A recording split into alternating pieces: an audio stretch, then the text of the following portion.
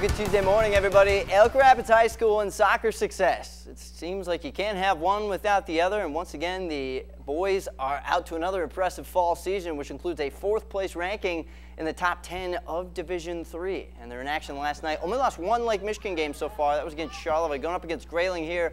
Ryan Kett sends a beauty of a pass up to Grayson Krakow. Krakow does the rest. Good foot on that one, makes it three to nothing. We're winding down that half, but the Vikings are not going to go into that break without a goal. Number 14 here off the miss. Beautiful work. Didn't have his name on the roster.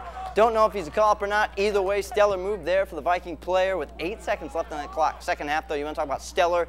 You're talking about Andy Atkinson. The kid piles up hat tricks like it's his job. He got another one again last night. Five to one at that point. Elks go on to win seven to one overall.